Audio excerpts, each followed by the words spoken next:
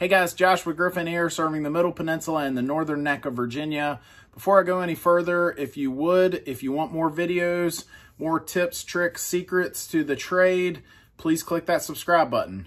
Thank you.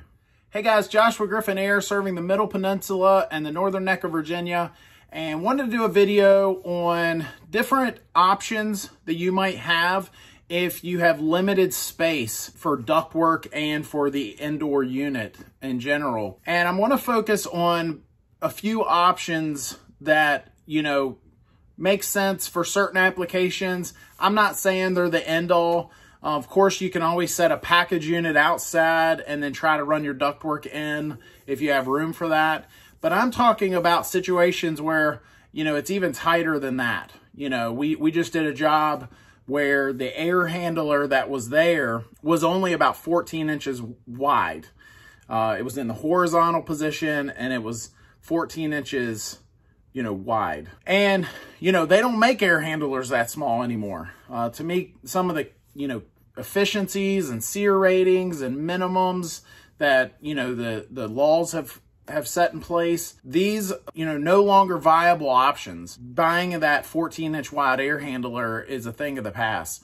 So what are some of the options you have?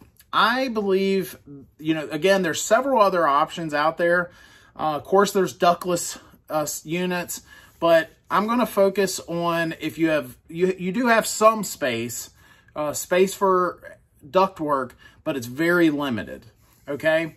And instead of saying uh, like a good, better, best, I think that each one of these options, we're going to call them uh, the performance, the efficiency, and the economical options, okay? So let's first start with the performance option.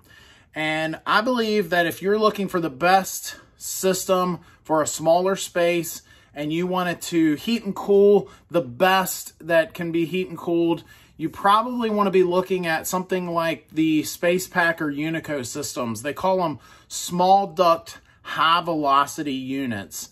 And the duct is small, the units are, are smaller and than, than a regular air handler, uh, but they push more air. So that's why they, they say high velocity. When you put your hand over the vent, you're to feel more umph. You know, it's to be blowing like a, you know, if you were to put the hose on the discharge side of a uh, shop vac, you know, that blowing out. And again, there's a couple different options with that. The cool thing with a lot of those is they've come a long way. You know, a few years ago, they were a little archaic, a little behind the times, if you will.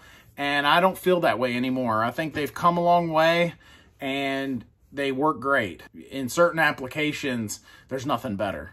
The second option that I would call the efficiency option, and that is if you have a space that, you know, it's limited space and you're looking for, you know, the most efficient option out there and you're looking for something to heat and cool the space as efficiently as possible.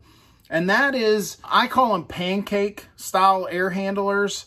And what they're basically designed to do is work similar to a wall hung ductless unit that you've seen, but now they're ducted. So it's still inverter technology. It's still going to ramp up and down just like that wall hung unit. It's still going to dehumidify, maybe a little better than the average uh, single stage air conditioning system. And so, you know, there's a few companies that make these, what I call pancake style air handlers. I know Mitsubishi has their SEZ air handlers. Daikin has a couple different ones, the FDMQs, and then their VRV Life models. And then I believe Fujitsu even has one.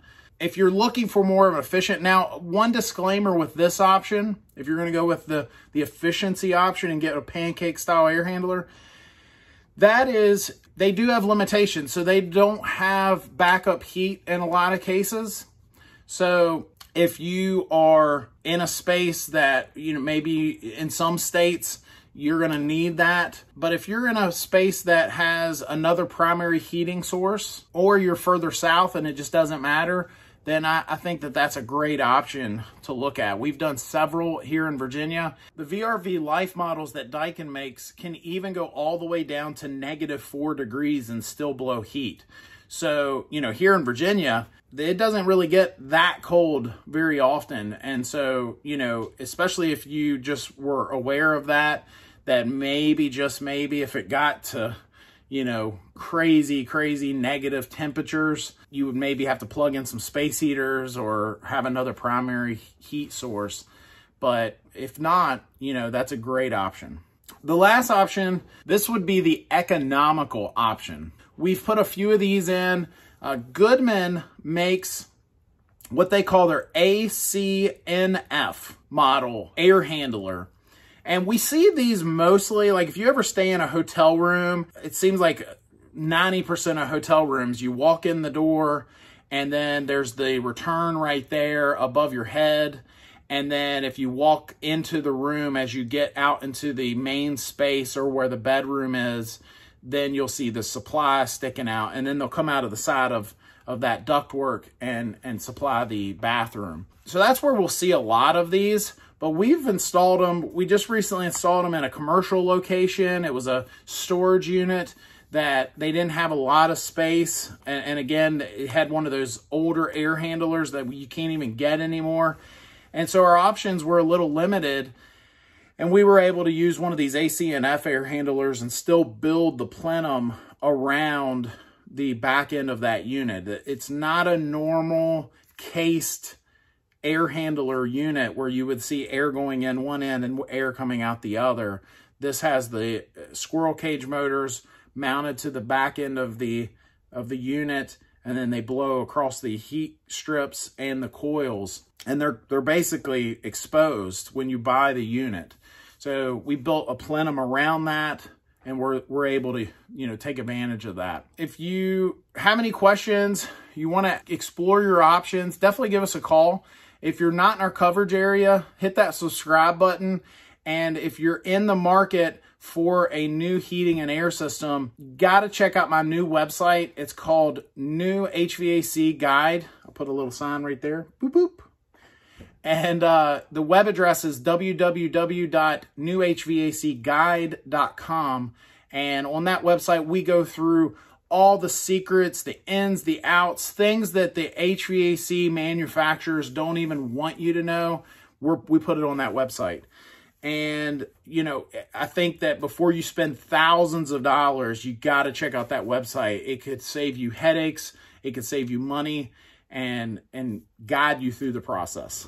So thanks for watching. Hit that subscribe button. Bye.